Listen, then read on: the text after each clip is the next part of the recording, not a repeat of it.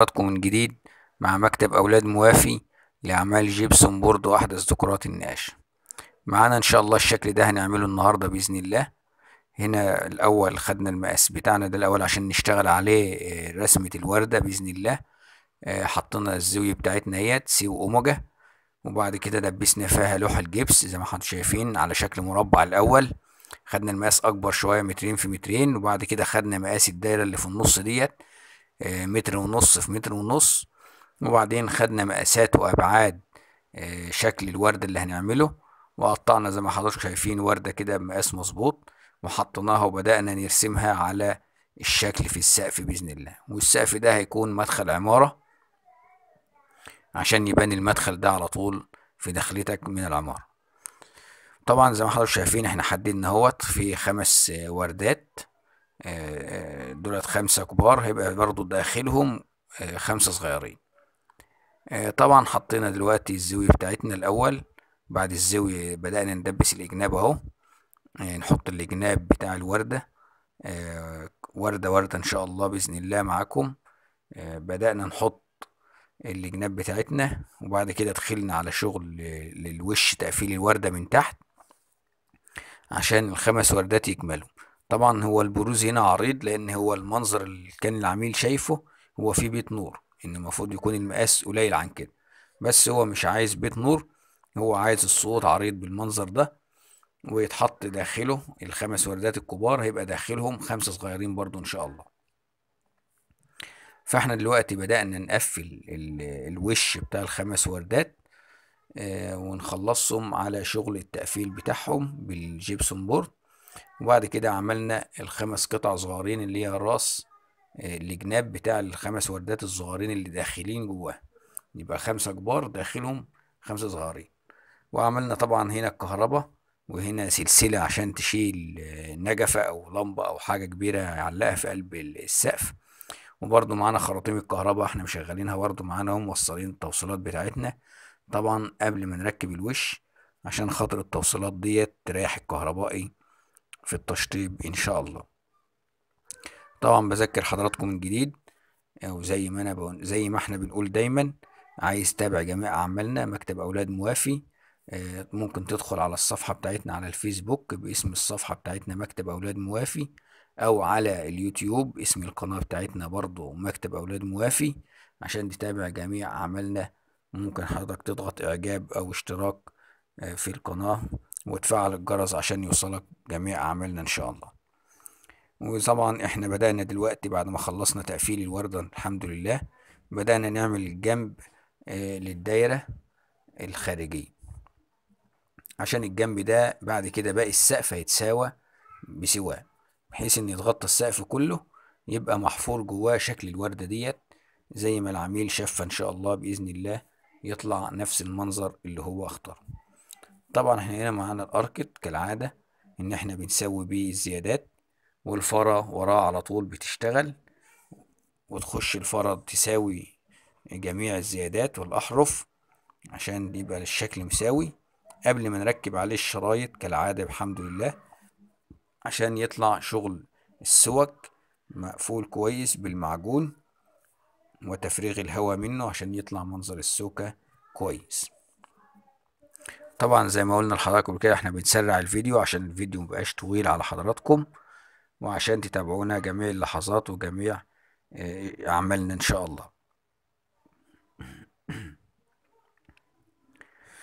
طبعا في زيادات بتضطر إن أنت تشيلها بالقطر اللي هي آه، بعض الورق لأن طبعا الجبس بتاعنا مضغوط جوه ورق. فإحنا بنشيل الزيادات ديت بالقطر زي ما حضراتكم شايفين أهوت.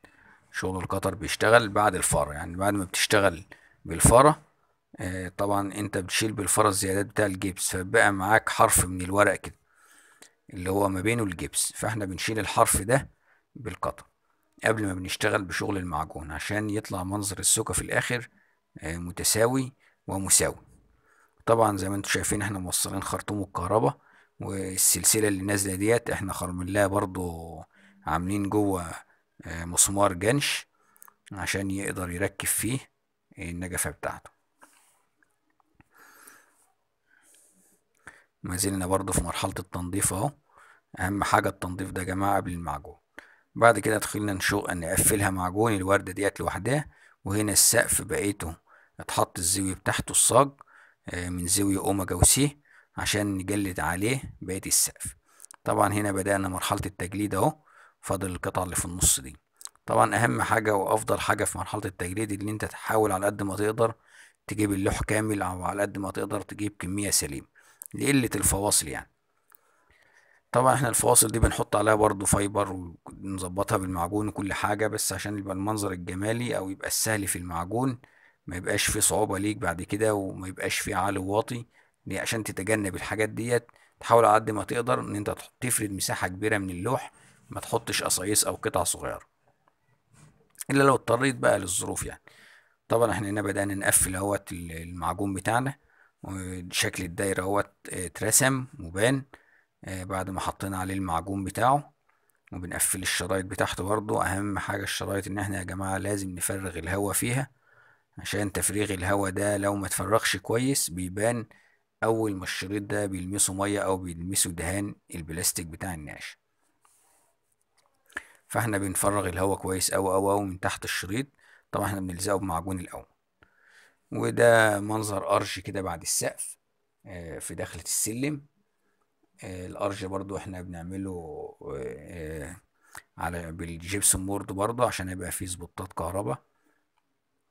فبنكمل شكل السقف يعني يبقى ليه منظر.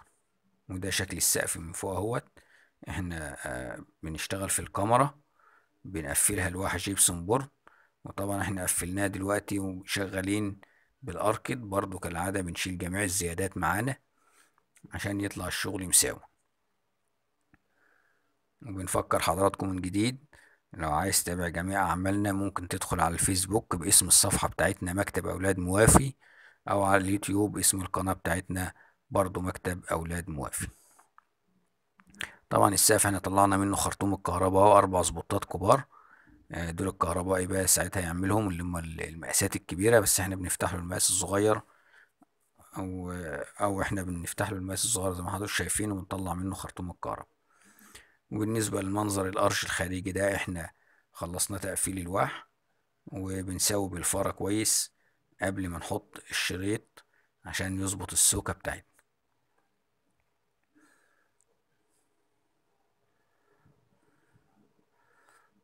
بدأنا نسحب فيه معجون أهوت القرش عشان هو كمان يتقفل معانا. آه، زيه زي السقف بالظبط إن شاء الله. زي ما حضراتكم شايفين قفلناه شغل المعجون بتاعه وشغل الشرايط بتاعته اتحطت على السوكة عشان يبقى الشغل جاهز للتشطيب بإذن الله مع النقاش. وبقولنا وجميع أنواع الحجر والفيوتك من الصلب والكرانيش والخشب الإكريليك وشكرا والسلام عليكم ورحمة الله وبركاته.